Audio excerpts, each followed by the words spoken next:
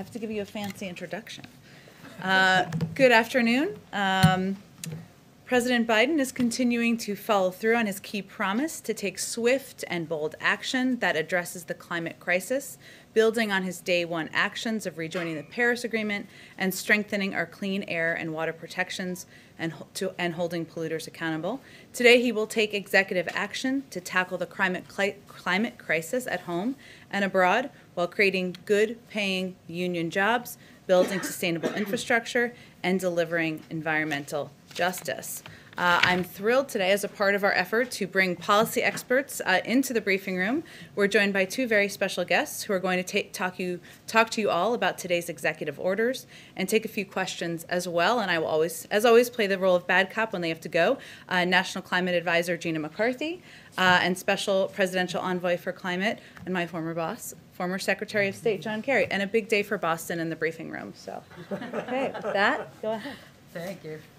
It's a big day for Boston every day. Uh, Thank you, everybody. Uh, Today, President Biden will build on the actions he took on day one, and he'll take more steps to fulfill commitments he made to tackle the climate crisis while creating good-paying union jobs and achieving environmental justice. In his campaign, he and Vice President Harris put forward the most ambitious climate vision that any presidential ticket had ever embraced. And he spent more time campaigning on climate than we have ever seen. The president also has consistently identified the climate crisis as one of four interrelated existential crises that are gripping our nation all at once. And he's demanding answers that can address all four and he's not waiting to take action, getting us started on his first day in office because science is telling us that we don't have a moment to lose to fight against all four of these crises in a way that recognizes their intersectionality. He's always committed the U.S. to reenter, I'm sorry, he's already committed the U.S. to reenter the Paris Climate Agreement, and he committed us as well to start undoing the assault on our environment that has occurred over the past four years. And he is now taking additional action to really target the challenge of climate change. So today, for me, is a very good day. Just one week into his administration, President Biden is continuing to move us forward at the breadth and the pace that climate science demands. Today's executive order starts uh, by saying it is the policy of this administration that climate considerations shall be an essential element of U.S. foreign policy and national security. That's where the big guy comes in. It gives my colleague, John Kerry, the first ever international climate envoy, the authority to really drive forward a process that will restore American leadership on climate throughout the world. And you will see and hear more about that from Secretary Kerry.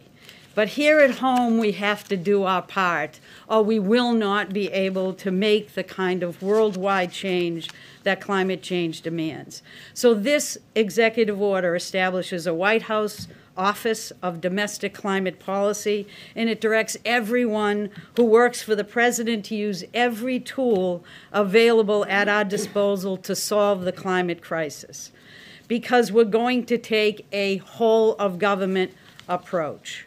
We're going to power our economy with clean energy. We're going to do that in a way that will produce millions of American jobs that are going to be good paying, that are going to be jobs that have the opportunity for workers to join a union. Because, as President Biden has often told us, when he thinks of climate change, his first thought is about jobs, and it should be because people in this country need a job. And this is about making that happen in the most creative and significant way that the federal government can move forward. And we're going to make sure that nobody is left behind. And I'm not just talking about communities in terms of environmental justice, but workers as well. This order takes historic strides to address environmental injustice. It creates both a White House interagency task force to address environmental justice, as well as an advisory council.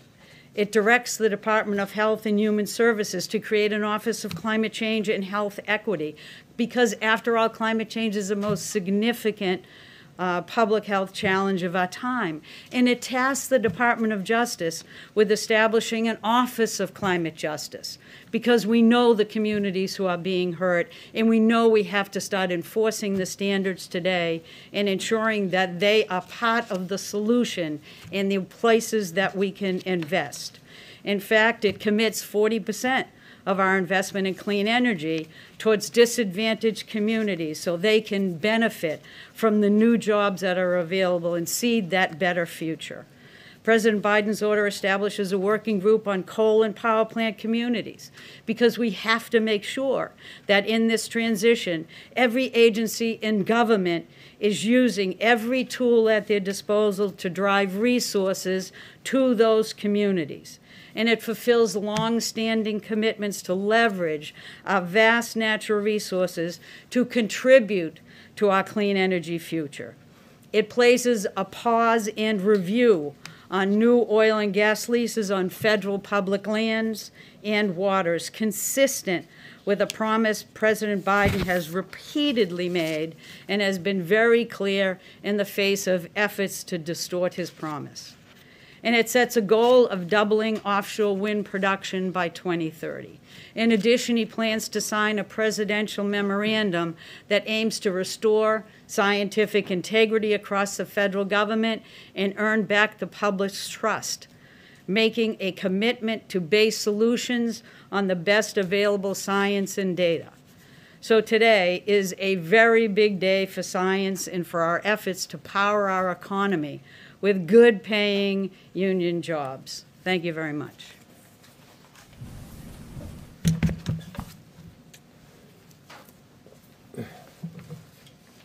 Good afternoon, everybody. It's great to be here. Uh, let me say, first of all, uh, what a pleasure it is to be here with Gina.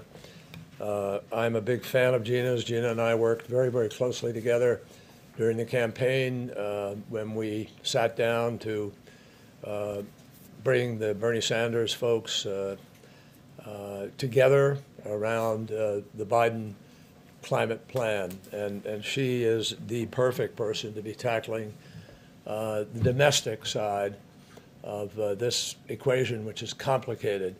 Uh, and nobody knows the details better than she does, and nobody's going to be more effective at corralling everybody to move in the same direction. It's also uh, an enormous pleasure for me to be here with Jen Psaki. She mentioned that uh, nobody was her boss, but I had the privilege of uh, working with her. And she, uh, seven years ago, uh, we gathered in the State Department briefing room. She's traded up, obviously, uh, but she has not given away any of her fundamental principles and commitment to telling you all the truth, telling the American people the truth, and doing so with great candor and transparency. And I'm, I'm very happy to be here with her. The uh, stakes, the stakes on climate change just simply couldn't be any higher than they are right now. Uh, it is existential. We use that word too easily. We throw it away. But uh, we have a big agenda in front of us on a global basis. And President Biden is deeply committed, totally seized by this issue, as you can tell by this executive order and, and by the other, uh, the initiative of getting back into Paris immediately. That's why he rejoined the Paris Agreement so quickly, because he knows it is urgent.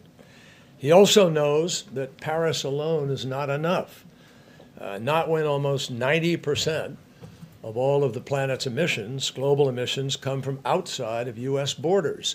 We could go to zero tomorrow and the problem isn't solved. So that's why today, one week into the job, President Biden will sign this additional executive set of orders to help move us down the road, ensuring that ambitious uh, climate action is global in scope and scale as well as uh, national here at home. Today, in the order that he will sign, that Gina has described to you, uh, he makes climate central to foreign policy planning, to diplomacy, and to national security preparedness. It creates new platforms to coordinate climate action across the federal agencies and departments, sorely needed. And most importantly, it commissions uh, a national intelligence estimate on the security implications of climate change to give all of us an even deeper understanding of the challenge. This is the first time a president has ever done that. And our 17 intelligence agencies are going to come together and assess exactly what the danger and damage and potential uh, risks are. The order directs the State Department to prepare a transmittal package uh, seeking Senate advice and consent on the Kigali Amendment to the Montreal Protocol, an amendment that by itself, if, if ratified and fully enforced uh, globally, could hold the Earth's temperature by 0.5 of an entire degree, not insignificant. And it sets forth a process for us to develop an ambitious new Paris target, as well as a U.S. climate finance plan, both of which are essential to our being able to bring countries of the world together to raise ambition and meet this moment when we go to Glasgow for the follow on agreement to, to Paris. So that's the only way for the world to succeed together, my friends. Is, uh, again, this is an issue where failure literally is not an option. As he committed to doing on the campaign trail, the president is announcing that he will host a leaders summit on climate change less than three months from now, on April 22nd, Earth Day, which will include a leader level reconvening of the major economies forum. We'll have specifics to lay out over time, but uh, the convening of this, uh, of this uh, summit is essential to ensuring that the that 2021 is going to be the year that really makes up for the lost time of the last four years, and that the UN Climate Conference, COP26 as it's called, which the UK is hosting in November, uh, to make sure that it is an unqualified success. The road to Glasgow will be marked uh, not just by promises, but by progress at a pace that we can all be proud of, and Gina is going to be putting her uh, efforts into making certain that that is true. The world will measure us by what we can do here at home. So, with these executive actions today, uh, we believe we're steps further down that journey. Thank you. All right, uh, let's start with Nancy. Thank you so much. Uh, Secretary Kerry, a question for you and then for Administrator McCarthy. Um, You talked about the fact that it won't really matter what we do very much if the rest of the world doesn't do the same thing. But the U.S. has had a fairly rocky relationship with China recently. How do you plan to try to bring both China and India to the table on this issue? Well, before I before I answer that, let me just say that uh, uh, the issue of, uh, of of making a difference, i.e., what we do at home, uh, what I'm saying is you can't solve the problem alone, but our doing things makes an enormous difference. What Gina succeeds in pulling together is essential to our ability to have credibility in the world. Now, with respect to China, obviously we have serious differences with China on some very, very important issues. And I am as mindful of that as anybody having uh, served as Secretary of State and in the Senate. Uh, the issues of theft of uh, intellectual property and, and, and uh, access to market, South China Sea, I mean, run the list. We all know them. Those issues will never be traded for anything that has to do with climate. That's not going to happen. But climate is a critical standalone issue that we have to deal on uh, in, in the sense that uh, China is 30% of the emissions of the world. We're about 15% of the emissions of the world. You add the EU to that, and you've got three entities that are more than, than uh, 55% or so. So it's urgent that we find a way to compartmentalize, to move forward, and uh, we'll wait and see. But uh, uh, President Biden is very, very clear about the need to address the other issues with China. And I know some people have been concerned. Nothing is going to be siphoned off into one area uh, from another. And then a question for either of you on coal. Your executive order talks about oil and gas uh, on federal lands, but it doesn't really say much about coal. What is this administration's policy when it comes to coal? Well, in terms of the oil and gas decision, it was, to- is to make sure that we take a little pause and review the entire strategy of how we're looking at public lands. So it will include looking at, at what new leases ought to be approved and sold. It's looking at our ability also to look at coal in that mix. So the program review is going to look at how we manage public lands consistent with climate, but also consistent with the, the marriage between climate and really growing jobs of the future. So it will be in the mix to be looked at, but it is, it is not at this point included. It was not part of the commitments on the campaign, but we're going to take a close look at all of it. And can I just add on your, your comment about China? Um, which I'm not going to speak to the international dynamic, but I am going to say that part of the challenge that we face here is, is a challenge that President Biden has already started to address with his Buy America pledge.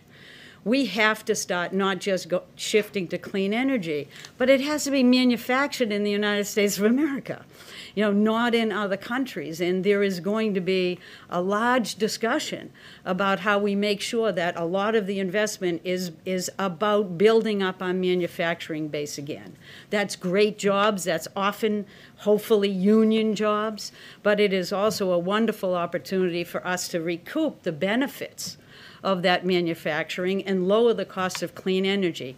Part of the way we're going to get there is by making sure the federal government buys American and that the federal government looks at its procurement across every agency so that the breadth of what we spend is spent designed to advance job growth in the United States, to advance health benefits for environmental justice communities, and to begin to tackle the very challenge, the existential challenge of climate change. Jeff Mason? Uh, Thank you. Jeff Mason with Reuters. Uh, Question for both of you. Um, Can you give us a sense of when you expect to have the so-called NDC or um, US target for cutting greenhouse gas emissions as part of the Paris Accord? And can you also give us a sense of how ambitious you plan to make that number? Will it be 40%, 50%, higher than that? Well- We're united in this. uh, Yeah, I'm, I'm the dude who's supposed to deliver this in a timely way, and he sets the timing. So that, uh, uh, basically, we want to make sure that the NDC is something that can be announced uh, before the summit on Earth Day. And so we're going to be out of the gate working with the agencies to see what kind of reductions and mitigation opportunities there are. And also, again, to look at our public lands to make sure that we can continue to store carbon in our soil, to work with agriculture and others, to look at how we better manage our forests so we're not uh, seeing the devastating forest fires that we've been having before.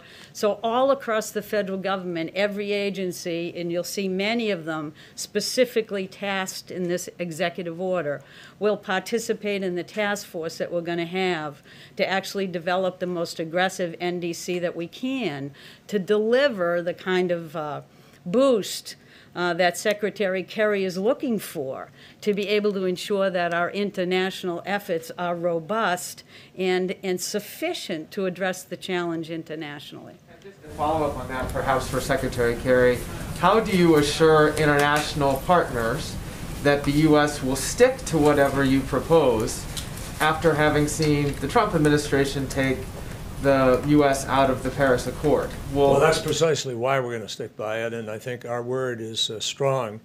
I've been on the phone for the last few days talking to our allies in Europe, elsewhere around the world, uh, and they are welcoming us back. They know that this administration uh, already had a significant uh, part of what has brought us to, will bring us to Glasgow, which was the Paris Agreement. The Obama-Biden administration uh, had great credibility on this issue. And having President Biden be the person now who is driving this forward is enormously meaningful to, to, to the folks there. And they also know that I was deeply involved in the negotiations in Paris uh, and am now asked by the president, by President Biden, to make certain that uh, we do the same at Glasgow, if not more. So I, I, I have had no one question our credibility at this point in time. Uh, someone probably will. And the answer will be that, that I think we can achieve things in the course of the next four years that will move the marketplace, the, the private sector, uh, global finance, uh, innovation and research, that in fact, no, no one, no political person in the future would be able to undo what the planet is going to be organizing over these next months and years. Uh, this is the start of something new. I don't know if you read uh, Larry Fink's letter of BlackRock the other day, yesterday, uh, but there's a new new awareness among major asset managers and commercial banks and others about the need to be putting resources into this endeavor because it, it is it is major in, in, in investment uh, demand.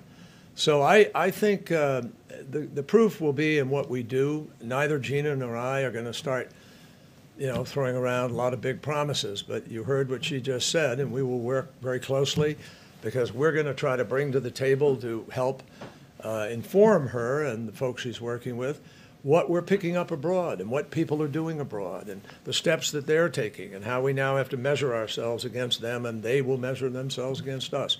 We are well aware of that. Can I just add something? I just want to call attention to the fact that cities and states have really picked up the, the initiative to move forward on clean energy because the solutions are cheap. The solutions compete effectively against fossil fuels. We are talking about solutions that we're not asking anybody to sacrifice, but are to their advantage.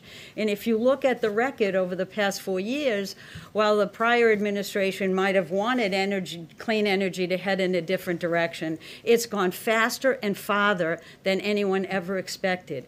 And the idea that we could, with this new work that we're doing together, send signals to the marketplace through our purchasing at the federal level and are relooking at different ways of having on the ground change, we can build that demand. We can actually grow significantly millions of clean energy jobs. And all of a sudden, the question won't be whether the private sector is going to buy into it, the private sector is going to drive it. And so this is going to be a signal setter, the way the federal government ought to set on what our values are what we think the future needs to be.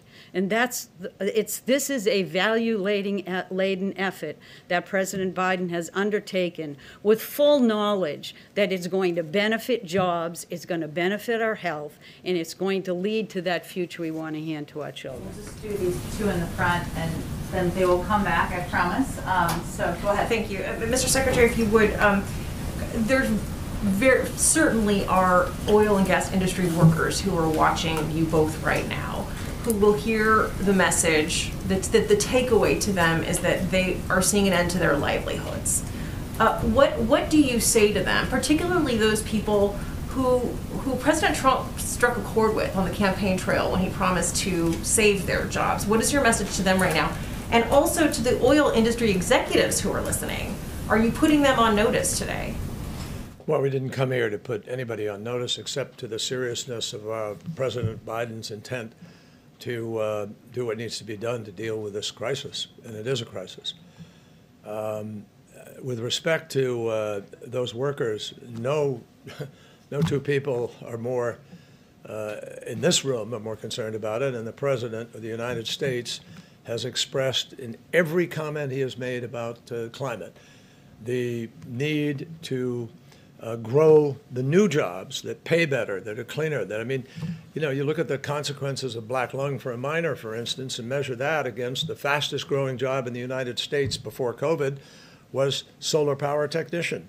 The same people can do those jobs, but the choice of doing the solar power one now is a better choice. Similarly, uh, you have uh, the second fastest growing job pre-COVID was wind turbine technician.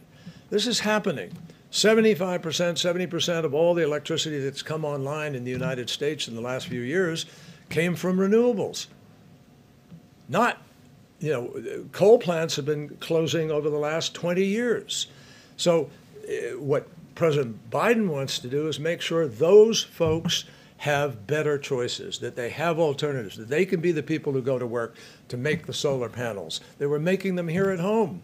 That is going to be a particular focus of the uh, Build Back Better agenda. And, and I, I think that, that unfortunately workers have been fed a false narrative. No surprise, right, for the last few years. they've been fed uh, the notion that somehow dealing with climate is coming at their expense. No, it's not. What's happening to them is happening because of other market forces already taking place. And, and, and what the what the what the financiers, uh, the big banks, the asset managers, private investors, venture capital are all discovering is there's a lot of money to be made in the creation of these new jobs in these sectors. So whether it's green hydrogen that is going to come, whether it is uh, uh, geothermal heat, or whether it, whatever it's going to be, uh, those are jobs. The same worker who works in South Carolina today putting together a BMW, which happens to be made there, and and and um, is currently an internal combustion engine, can put together a car, but it's electric. So this is not a choice between having jobs, having good jobs, having the quality of life. Quality of life will be better when Gina has put her team together that produces choices for us that are healthier, less cancer, cleaner air. The greatest, the greatest cost to America, the greatest cause of children being hospitalized every summer in the United States, we spend 55 billion a year on it, is environmentally induced asthma. That will change as we begin to rein in what we used to call pollution in this country, because it is pollution.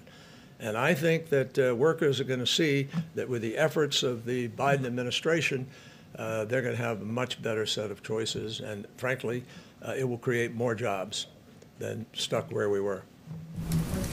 Could I just add by pointing out a couple of things in the executive order that I want you to just call to your attention? We talked about the Civilian Conservation Corps. That is an opportunity to put younger people into work in, in vitally important efforts. But if you look at this, it also has set up a task force that is looking at the, these coal uh, communities, uh, communities that are really reliant on their local energy and utility. And it talks about how do we revitalize those economies.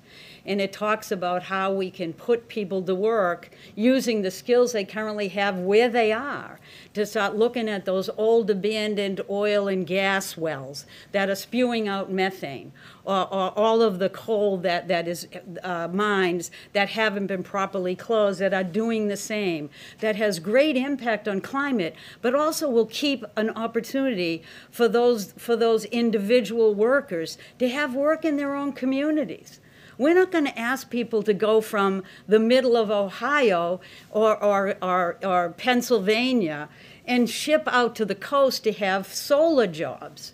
You know, solar jobs will be everywhere, but we need to put people to work in their own communities. That's where their home is. That's where their vision is. So we're creatively looking at those opportunities for investment so that we can get people understanding that we are not trying to take away jobs. Remember, when, uh, when we say climate change, eventually people are going to think jobs, just like President Biden, when he hears the words climate change. And so we'll do everything we can to recognize that revitalization is necessary in these communities, to find creative ways to put them to work. And then we're going to do as Secretary Kerry says, and start investing in new technologies and new manufacturing. And that includes large manufacturing like cement and steel. That's work that we should be doing here that's work that inevitably is going to be necessary to rebuild our infrastructure, which is also one of the biggest opportunities we have for job growth moving forward. Two quick ones. off, Sure. Uh, Administrator, one to you and one to the Secretary, if I may. I, the, what you may hear from some corners of criticism are, is why are we doing this now when we're already in an economic crisis? You look at the state of New Mexico, where one third of the state's budget is funded by oil and gas. So why not let the country get back on its feet before we do this? Well, uh, the issue in New Mexico is that somebody uh, reported uh, a bit incorrectly, or maybe not as precisely enough, that this wasn't about impacting existing permits and fracking. This was about new leases on federal lands. So I think that the, the uh, opportunity for the states to continue to accrue the royalties eh, from, from, uh, uh, from both coal and oil and natural gas that is properly done on federal lands is going to continue. And there's even an opportunity in the review of that program to look at the royalty issues, look at the job growth opportunities, look at a variety of things to make sure that public lands are being properly managed. Now, in terms of, of the job issue, we're explicitly doing this because our economy is right now stagnant. We have pe- millions of people out of work, out of jobs, millions of people that are afraid they can't feed their families. If you're faced with that, what do you do? You boost the economy and you grow jobs. But why at the same time aren't we thinking about the weaknesses of our current economy in terms of the number of environmental justice communities that have been left behind, the number of people that are breathing dirty air and their kids are getting asthma? So instead, let's think about all of it at the same time. I know it's a crazy idea in your bureaucracy. You're only supposed to do one thing, what we're going to do and think about all of it because people need to have jobs. This is all about building the jobs of the future we want, not continuing to nid- niddle at, at an economy that is no longer going to be where our future lies. Mr. Secretary, to you, right now, over the course of this first week, there are a lot of big priorities here. There's COVID, the economy, immigration, racial justice, now climate change. As a veteran of Congress, of the Senate, what is the priority and how quickly do you need legislation to make this permanent? Well, the, uh, Peter, the, the, uh, the priority is precisely what the president has set out, all of them, all six of the major crises that he faces. And he's addressing every single one of them, and he knows that the United States, all of us, have the ability to be able to do that. Uh, and, and the reason that has to be done is every single one of them are life and death. Every single one of them represent a challenge to the very fiber of our society. And, and the other reason, obviously, everything, I agree with everything Gina said, but I'd, I'd, I'd simply add that the other reason for doing it now is the science tells us we have to. And that's one of the things the president is restoring today in the executive order is respect for science and the science office.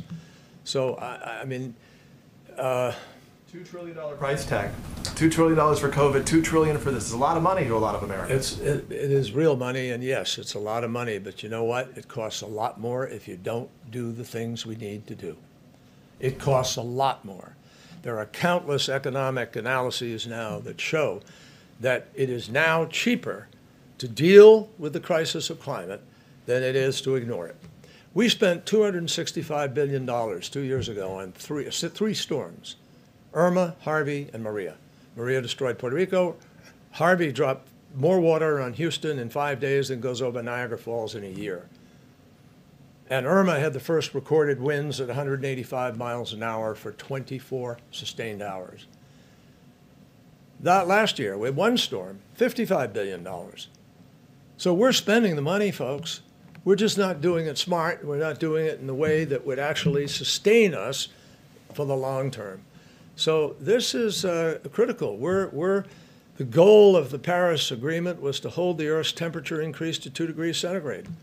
Even if you did everything that was in Paris, we're going up to 3.7 or 4. That's catastrophic. What President Biden is trying to do is listen to science, listen to facts, and make tough decisions about what we need to do to take the world to a better place, and particularly our own country. And that is what he is committed to doing. So, yes, there are a lot of uh, challenges right now, which sadly, all of them were exacerbated by the last four years. Now we have to try to make up for that. And that is a hard pull, but this president is capable of doing it, and he's putting together a great team that I think can uh, help him do that. Thank you, sir. Thank you. Thank you. Thank you, uh, Gina McCarthy. Thank you, Secretary Kerry, for joining us. Um, You're free to go. Thank you. To go see the president. Um, So you can all see, they're uh, both experienced and passionate and tenacious, uh, having worked with, uh, with both of them in the past. So uh, the, the it- it crisis is in good hands. I know we have a short period of time here, but I just wanted to provide an update on a question that you all have been asking a bit about, which is what some of the outreach uh, our teams are doing as it relates to uh, the COVID package. That is a top priority for President Biden. Uh, as we have talked about almost every day in here, probably every day, uh, our team continues to build support for the American Rescue Plan as more and more voices across the country recognize the urgent need to get American families the help they need. We've obviously seen a broad coalition of support emerge uh, from the Chamber of Commerce to Senator Sanders and organized labor to hundreds of mayors and local public health officials. The president and vice president are engaged directly with members and have had a number of productive conversations that will continue through the course of the week and will only pick up in the days ahead. Senior White House officials are also engaging with not just congressional leaders, but also state and local officials, key constituency groups, and others to gather feedback on the proposal and move the package forward. So let me give you a, couple of examples from uh, just yesterday. Chief of Staff Ron Klain engaged with members directly throughout the day, as did Senior Advisor Anita Dunn, which they will both continue to do moving forward. Counselor to the President, Steve Ricchetti, and Office of Legislative Affairs Director, Louisa Terrell, are quarterbacking the team's broader legislative outreach and have had dozens of conversations with individual members to understand their priorities and receive their feedback. In addition to ongoing conversations with leadership on both sides of the aisle, already this week, Members of the National Economic Council and Domestic Policy Council and staff from Treasury have met with the relevant committees, including Senate Banking Committee, Senate Finance Committee, House Ways and Means, House Financial Services, House Education and Labor, and the bicameral Small Business Committee. NEC Director Brian Deese is doing one on one briefings with members of Congress and meetings with caucuses, including yesterday's meeting, which I believe has been reported, with the Problem Solvers Caucus to discuss the proposal. Hill engagement uh, will continue uh, with Jeff Zients and Brian Deese meeting with the New Dem Coalition, along with several other briefings that are scheduled. Also, our outreach isn't limited to Congress, which is vitally important. This isn't just about speaking to elected officials. This is also about speaking to the country and building support and uh, educating and engaging with leaders uh, across the country. So, yesterday, Jeff Zients and his team spoke with bipartisan governors. As you all know, they talked about the COVID package by the National Governors Association, organized by them, and administration officials briefed tribal leaders and a number of mayors yesterday as well and the Office of Public Engagement, led by Cedric Richmond, briefed civil rights groups yesterday, including the NAACP, the National Action Network, Justice Action Network, Urban League, Coalition of Black Civic Participation, and Black Women's Roundtable. Today, they have meetings with labor leaders, advocates for young people, as well as organizations dedicated to building wealth in the black community. On Friday, OP will also, the Office of Public Engagement, I should say, I hate acronyms, uh, will convene 100 uh, presidents of historically black, black colleges and universities also to discuss this proposal. And the only other thing I wanted to mention before we get to your questions is that, as you all know, Treasury Secretary uh, Janet Yellen was just confirmed uh, the president will be meeting with his economic team on Friday, including Secretary Yellen, for a briefing on the impact of delay in moving forward with the additional economic relief. Uh, with that, let's get your questions. Alex, it's your first day in the White House briefing room. And Alex's first day, two Alex's first days. It's good to be here. There's an initiation afterwards that the press corps will conduct. Yes, go ahead. Um, I'll make it quick because I know you have a pretty hard out in a few minutes, but. I uh, think you all have a hard out too, but yes. Um, I wanted to ask about one of your favorite topics, impeachment. Uh, nearly every Republican senator last night voted to throw out the impeachment trial against President Trump. Does President Biden have a reaction to that? Does he trust Congress to hold President Trump accountable for the insurrection against the Capitol? And does he see censure against uh, former President Trump as a viable alternative to conviction since it, it looks unlikely at this point? Well, the uh, president uh, certainly respects the role that Congress has. Senators, of course, the Senate, as they're overseeing the trial moving forward, in determining the pace and the path forward uh, for holding uh, the former president accountable. That continues to be his belief.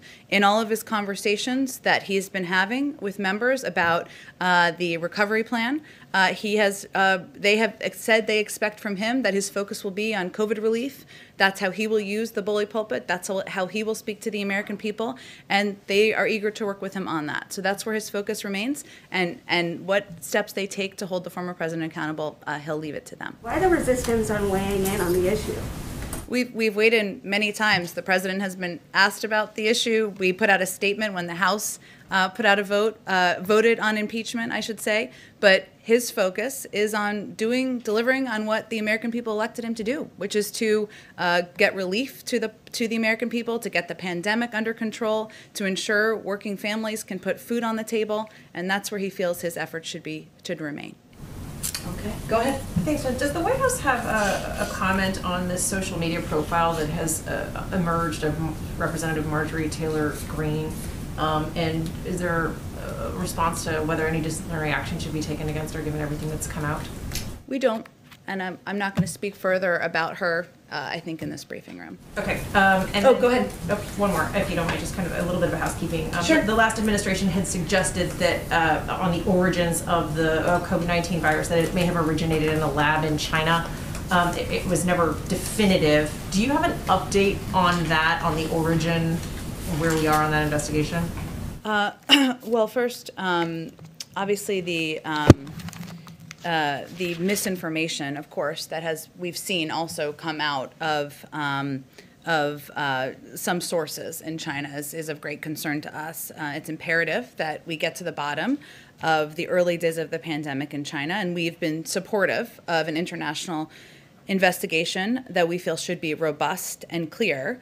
Uh, we, our view is that we must prepare to draw on information collected and analyzed by our intelligence community, which is something that is ongoing, and to work, and also to continue work with our allies to evaluate um, uh, the report's credibility on the investigation once it's done. In addition, as you all know, Secretary of State was just, uh, Tony Blinken was just sworn in uh, yesterday, and one of his priorities is, of course, ensuring that our staffing on the ground in Beijing, which is something that uh, fell back in the last administration, is returned to what it was prior, which means we want to have uh, science uh, experts, uh, policy experts on the ground in the roles that they should be serving in uh, to ensure that uh, you know we're also there representing um, you know our interests from the United States on the ground in, in China.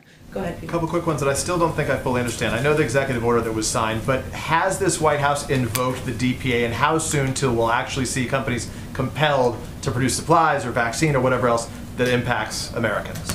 Uh, we it was invoked um, the day it was signed. Within 24 hours of it being You signed. said that jump started the process, so I guess that meant it was invoked. Yes, and I confirmed that uh, when it was uh, the next day, the following day in the briefing room, which I realize everybody can't be here every day because of COVID. Um, but uh, it was invoked, and it means that our work is ongoing uh, with uh, companies to ensure that we are expediting the manufacturing of materials to ensure that we can get 100 million shots in the arms of Americans. And I know there's been some confusion about this and what exactly it is. What does the DPA mean? Uh, there are a few examples that our team has cited including uh, vac- on vaccine supply, low dead space syringes, which means it allows for the ability to get an extra dose into the Pfizer vial, which is important to getting more doses out there. Uh, help uh, additional N95, the production of additional N95 masks, uh, isolation gowns, uh, gloves, pipette tips, and high absorbency foam swabs. So we're really talking about very specific materials that can be used by vaccinators to get these shots in the arms of Americans. Thanks for clarifying. There was some confusion on the earlier call, which is why I re- repeated here. Let me ask one other question. Yesterday, you deflected this to the USOC, but my question's a little bit different today. We're now hearing from the organizers of this year's Summer Games in Japan, and the head of Japan's Olympics Committee is seeking public reassurances from President Biden himself, given that the U.S., of course, is the largest uh, contingent of athletes, that the games should be able to go on. As the world's uh, as the world is dealing with the pandemic right now, based on where we are now with the vaccine, does President Biden believe the games in Japan can safely go on? Well, the president, and I'm not sure if this readout had gone out yet, but he had spoken with uh, the prime minister of Japan earlier this morning, and a readout was going out um, as we were coming out to the briefing. I'm not sure if they spoke about the Olympics. I'm happy to check with our national security team on that uh, to, to follow up with, but I don't have any more assessment of the Olympics uh, at this point in time. Whether, whether he has, so it hasn't been discussed whether he has a position on whether it would safely be able to go on yet. I, I, I don't have anything more other than I, I haven't had much on it, but I don't have anything more than I've had on other days on it. So we ask. So we'll follow up with. Uh, understood, and they just had a call this morning, but I haven't had a chance to talk to him specifically about it. Go ahead. Jen.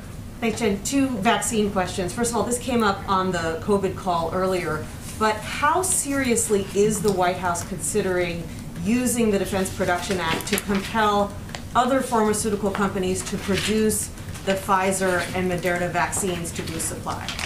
Well, I didn't hear the entirety of the call uh, because we were doing some preparation for the event this afternoon. Uh, but from listening to our team talk about it, um, there are obviously manufacturing uh, facilities that have the capacity and the ability to get these vaccine doses um, out, and we don't want to get our get behind the pace of uh, and, and start from scratch, I should say, in, in ensuring that they're ready to do that. I don't think our concern at this point is whether or not we're going to have the vaccine doses. Obviously, uh, the president announced yesterday uh, the intention to purchase doses, additional doses.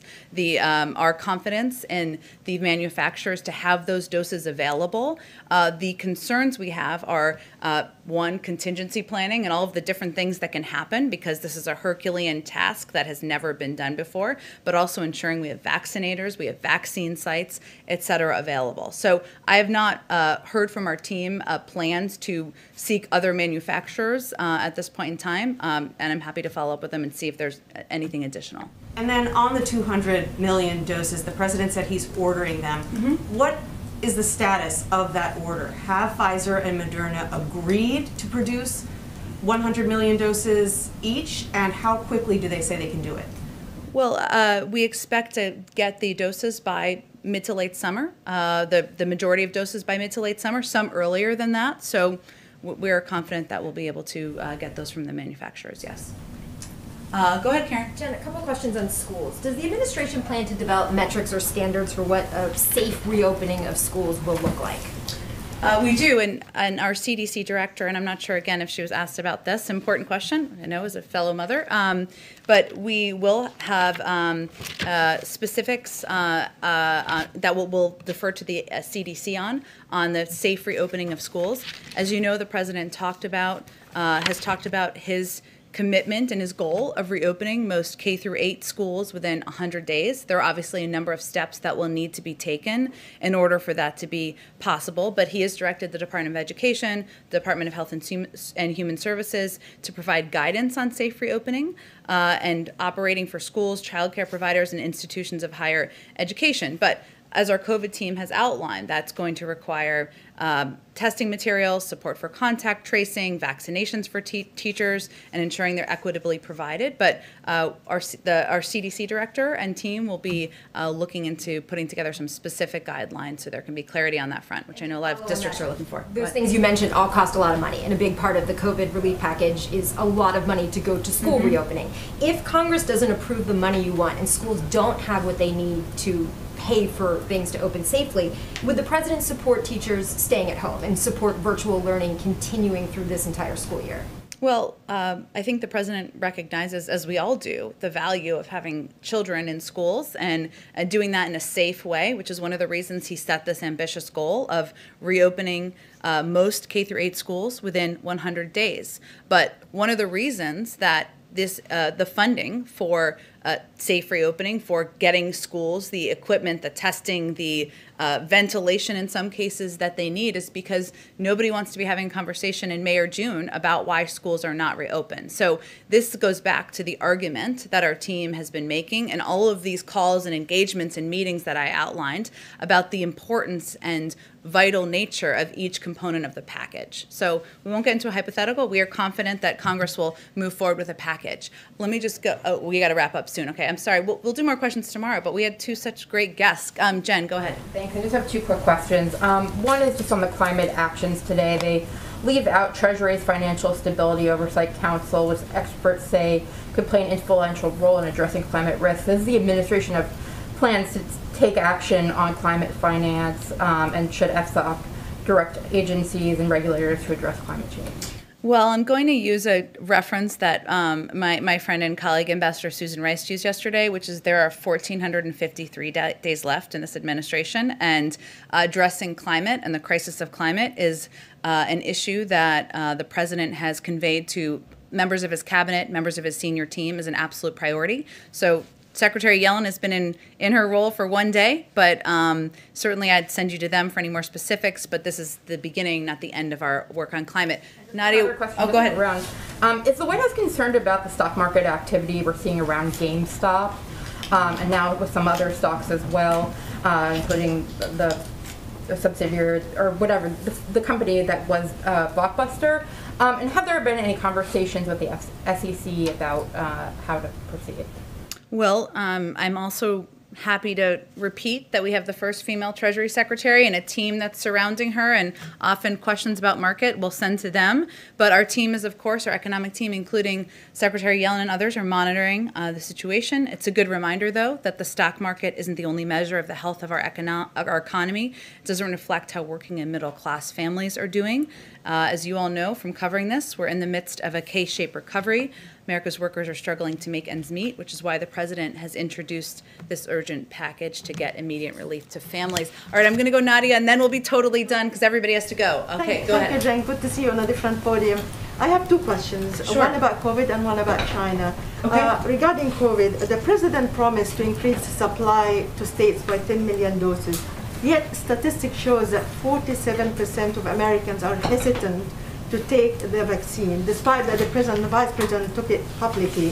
What is the administration doing uh, to convince Americans to take it to reach the uh, herd immunity by, say, 70% by the by the fall? You're absolutely right, Nadia, that this is one of the biggest challenges we face. And for anyone who tuned into the briefing that our health team led this morning, it was one of the first issues that CDC Director uh, Dr. Walensky raised. Um, and one of the things we're doing is prioritizing providing uh, correct information about it.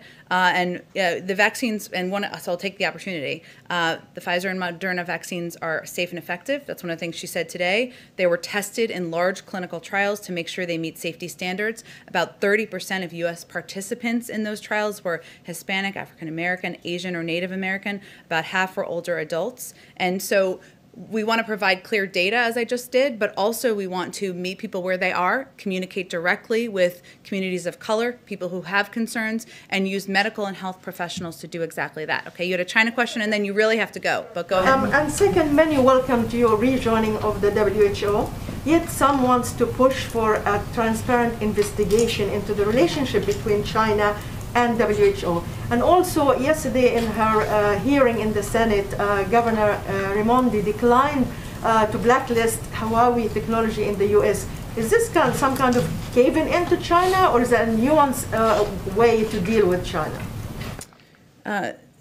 so I think your the second reference I think was to Huawei, right? And then come yes.